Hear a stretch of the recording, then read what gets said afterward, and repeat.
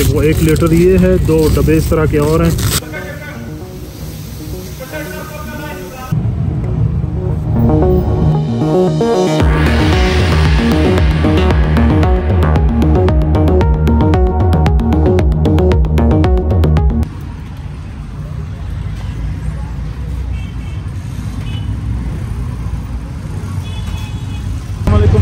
क्या हाल है, कैसे हैं? आई होप कि आप सब ठीक होंगे। अल्हम्दुलिल्लाह, मैं भी ठीक हूँ। तो अभी एक नए ब्लॉग के साथ आपके साथ हाजिर हुआ हूँ। तो हम आज अपनी बाइक का ऑयल चेंज करने वाले हैं। ऑयल चेंज करेंगे और इंशाल्लाह आपको बताएँगे कि इसका कौन सा ऑयल होता है और क्या इसकी पूरी एक किट होती है जो परचेज़ करनी पड़ती है। हज़ार किलोमीटर के बाद इसका फ़र्स्ट सर्विस आती है, जो मैं, जब मैं आ रहा था इस्लामाबाद से कोयटा, रास्ते में इस पर हज़ार किलोमीटर तो पूरे हो गए थे, लेकिन वहाँ पर ये चीज़ें मिलती नहीं थी।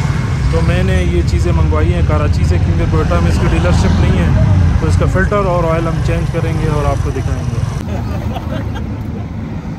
तो ये रिसीव कर लिए हमने बाइक की ऑयल और ऑयल फ़िल्टर हमने बाइक का रिसीव कर लिया है। कराची से इस एक्सप्रेस पे आया था। कोयटा छोटा सा शहर है, मैं ऑयल चेंज करने आया था तो एक बंदे हमें मिल गए हैं यहाँ पे बाइक पे। और ये दूसरे वसीर भाई के बेटे हैं ये हमें मिल गए हैं। इसके सिर्फ़ दांत निकल आए हैं सर्दी में हाँ। तो इसका मैं बताता हूँ कि इसका क्या सिस्टम इसका ऑयल चेंज करने का बहुत आसान इसका तरीका इतना मुश्किल नहीं सबसे पहले जो नीचे वाली प्रोटेक्शन की इसकी ये शील्ड होती है ये हमें उतारनी पड़ती है। तो इसके नट खोलने पड़ते हैं। नट में कौन से पाने लगेंगे वो हमें बता दो सर। दस नंबर हाँ? दस पाने और एक हल्की है। दस नंबर और एक एल की एक एल की लगेगी और एक दस नंबर जो है पाना वो लगेगा। तो इसको नीचे से हम इसका प्रोटेक्शन खोलेंगे और वो दस नंबर माच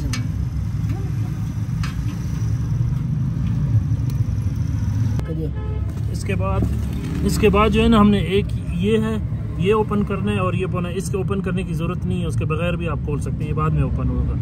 ये हम खोलेंगे, ये खोलेंगे। इसको दोनों को आपने ओपन करना है और इसका ऑयल सारा निकालना है। अभी हम चेक करेंगे ऑयल में कोई ज़रात वगैरह, कोई चीज़ तो नहीं है। ये इसका कंपनी का ऑयल था जो हज़ार किलोमीटर के बाद चेंज होता है।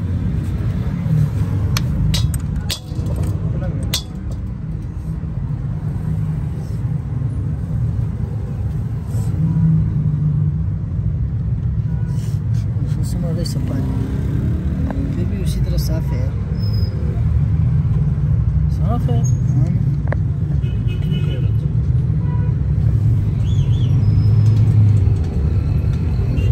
तेज तेरा चमेरा उड़े मतलब तेरा इसमें तेरह नंबर और कौन सा लगेगा? तेरा लगता है। मुबले तेरह। वो मुबले कनेक्ट जो है तेरह नंबर से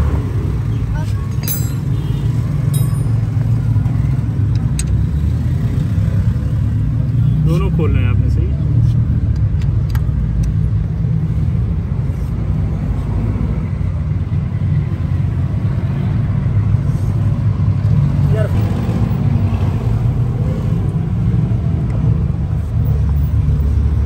अरे कपड़ा ना क्लास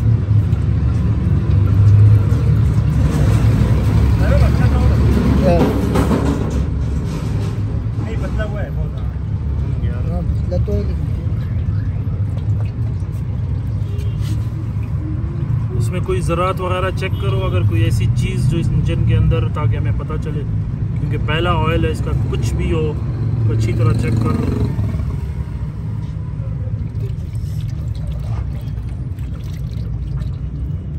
बहुत ज़्यादा ऑयल है इसका तो यार।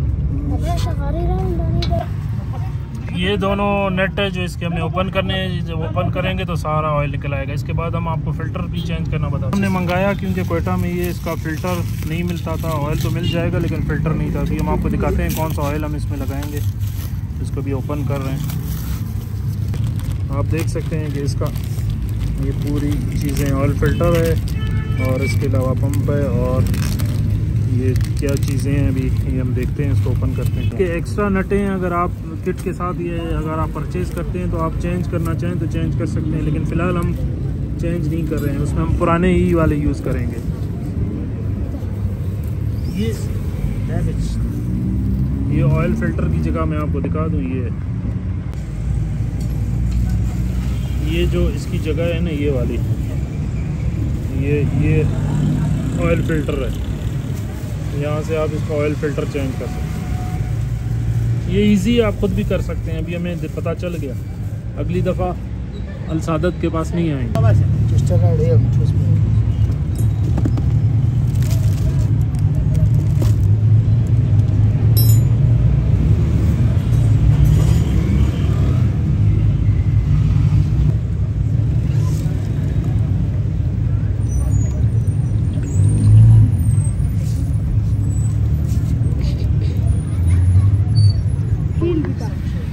तो इसका हमने फ़िल्टर भी निकाल लिया है और इसका ऑयल भी निकाल लिया है। अब इसको हम फ्रेश जो फ़िल्टर है प्लस इसका जो ऑयल हमने लिया है वेल वो लाइन का वो हम अभी इसको चेंज करेंगे। इसका ये जो है ना ये नहीं ये भी हमने नया डालना है। ये आप देख रहे हैं। ये इसके साथ आता है। ये जब किट लेंगे उसके साथ ये होगा ये आपने चेंज इसको थोड़ा क्लीन कर देना अंदर से भी इससे अभी हम इसमें नया फ़िल्टर डाल रहे हैं।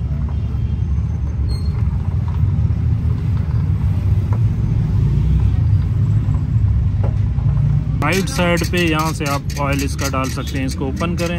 ईज़िली यहाँ से ये ये ओपन होगा और यहाँ से आप ऑयल डाल सकते हैं। शीर भाई का शुक्रिया कि हमें कॉफ़ी पिला रहे हैं। साथ साथ ऑयल भी चेंज हो रहा है। अभी इसमें ऑयल डल रहा है। 2.8 लीटर थ्री लीटर तक आप इसमें ऑयल डाल सकते हैं।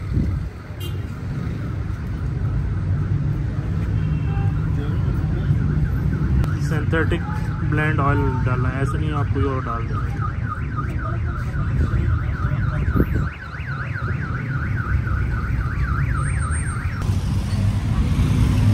थोड़ा हीटअप दो हीटअप दो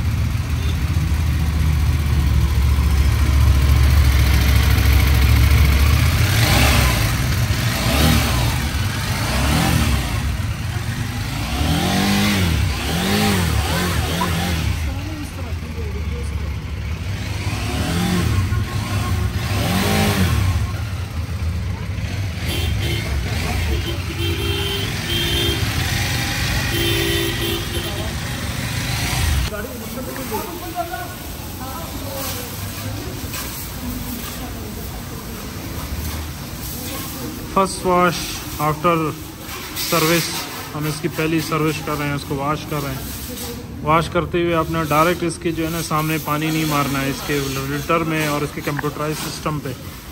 तो आपने इसे एहतियात से इसको साफ़ करना है कि सामने डायरेक्ट नहीं मारना। इंजन पे इसको डायरेक्ट नहीं मारना।